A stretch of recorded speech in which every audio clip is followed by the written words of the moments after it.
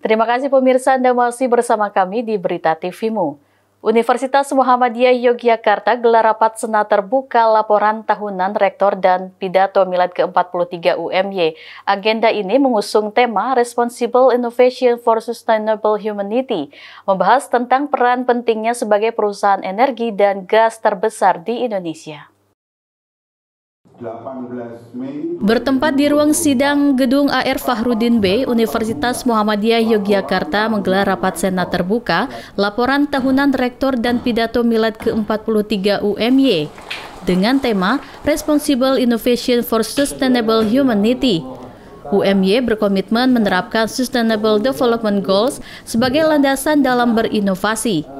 Dalam pidato milad ke-43 UMY, Rektor Universitas Muhammadiyah Yogyakarta Gunawan Budianto mengatakan UMY telah menerapkan prinsip SDGs dalam berbagai program untuk penelitian dan pengabdian masyarakat.